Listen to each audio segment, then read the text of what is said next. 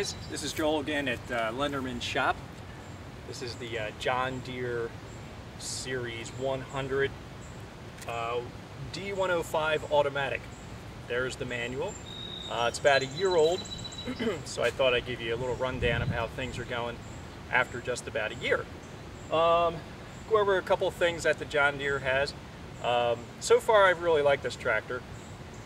Um, it's an automatic, which means you push the pedal and you drive it kind of like your car. It took me a little bit of getting used to, but my yard is kind of bumpy, and you'll see in the, uh, the, the, video of me riding around cutting the grass that sometimes I need to go fast and slow, and it, it helps with that. Uh, thanks, by the way, for uh, sitting through that long introduction. Um, all right, so automatic, um, just put it in drive and push this up, and it works pretty well let me show you this here. Now the gentleman who dropped it off um, said that you could bring this up like that so that the grass will shoot further. And it does shoot further except for after you go over a bump or two. This just kind of wiggles itself back down. Goes back down like that if you hit a bump. So uh, that it, it helps, but it, it's really not functional. Uh, what else here? Um, and I'll show you some close-ups of all this as well. Uh, here's your, your engager for your blade. On and off is here. Um, gas goes back here. The gas goes back here, which is okay, but when I have the bagger on, that's a big issue. And there's a gas gauge way down here so when it seats up and you're putting gas in your tank, it's really hard to tell where you are. And the, the tank,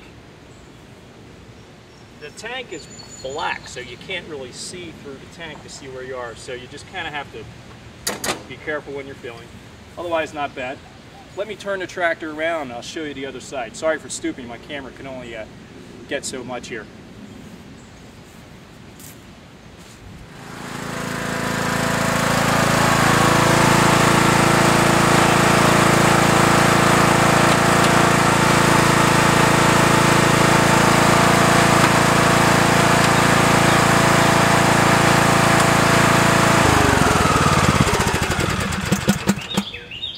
Here's your, your height adjuster for your, uh, your deck. Spring loaded, which is nice, makes it nice and easy. Um, I haven't changed the blades or sharpened the blades yet, so I don't know how easy or hard, how hard that is. Um, clutch over here, your clutch brake.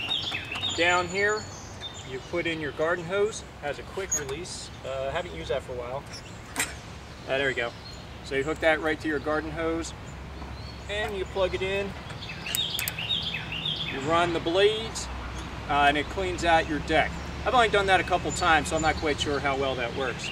Uh, what else do we have over here? Is your parking here, your throttle's up here.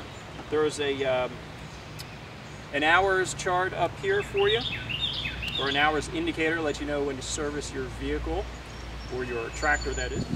Okay, this is a Briggs & Stratton engine made uh, exclusively for John Deere. So far it's been working pretty good. I've always had pretty good luck with Briggs & Stratton. Um, one thing I forgot over here, this is uh, the kill switch. You need to push that before you go backwards if you're mowing. If you forget to push that down and you have the blades running, the, the engine will shut off on you. And that's okay, you get used to that, it's not a big deal. I don't know if there's a disengage for that or not. Uh, oh yeah, the hours indicator is up here. if you can see that. There we go. Uh, cup holder here. You can put maybe a soda can in there or, or a water bottle. Doesn't take uh, doesn't take much to fill it up. What else here? Battery is there.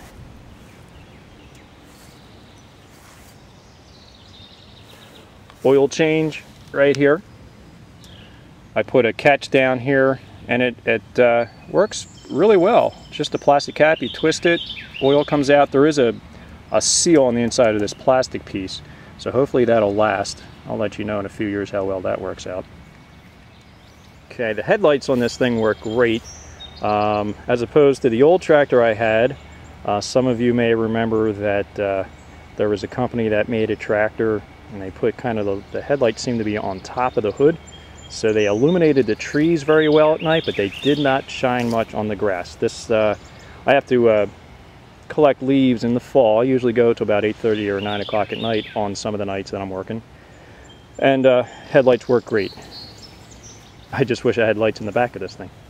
Once again, on the Lenderman scale, we'll give this thing about a four and a half out of five stars. I really like the tractor, and uh, I didn't give it a five star yet because I've only had it for a year. We'll see uh, in four or five years how well it's working, and then maybe I'll, I'll change the, uh, the grade on it. All right? Thanks for watching, and thanks for uh, sticking through me through the whole presentation. Enjoy your tractor.